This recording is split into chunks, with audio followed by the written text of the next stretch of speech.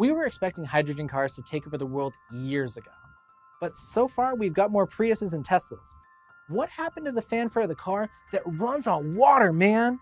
It's been a while since we've heard anything about hydrogen cars, seemingly because the market wasn't ready to look past its disadvantages yet. Back in 2014, we saw the very first commercial hydrogen fuel cell vehicle debut with the Toyota Mirai.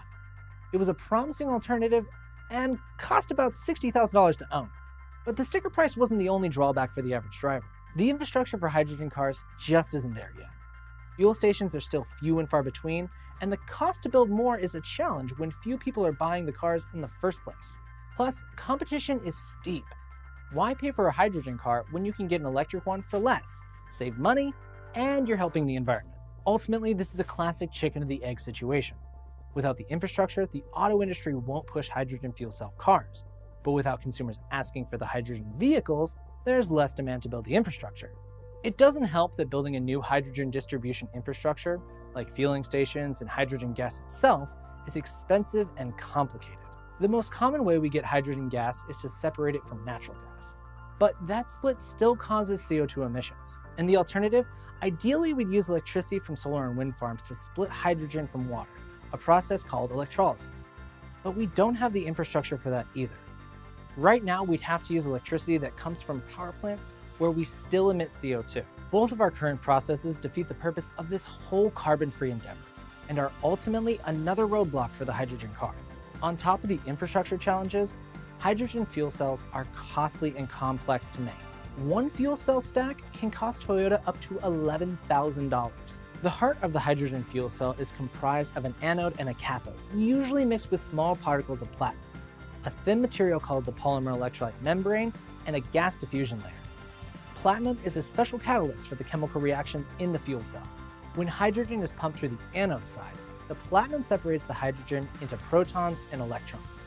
Since the negatively charged electrons can't transfer through the special membrane like the hydrogen ions, they get shuffled through a circuit, and that flow of electrons creates an electrical current that powers the car. The electrons then come around the other side, meet their hydrogen partners, throw a little oxygen in the mix, and all that is expelled as H2O. Even cooler. For their hydrogen car, Toyota stacks their cells 370 layers thick in order to get the energy output they're looking for. All these materials, especially the platinum, amount to a pretty penny. And that's not even including the materials used for the storage of the hydrogen itself, which is also super pricey. But we are getting better at this. Since 2014, fuel cells have become lighter, the platinum catalysts are engineered more efficiently, which means they cost less. Scientists are working on electrolysis systems to make that carbon emission-free hydrogen we need. And there are initiatives globally to get hydrogen vehicles like taxis, buses, and trucks on the road. See, for the average person, hydrogen cars might be impractical. But for long-distance travel with large vehicles, they seem to be a great fit.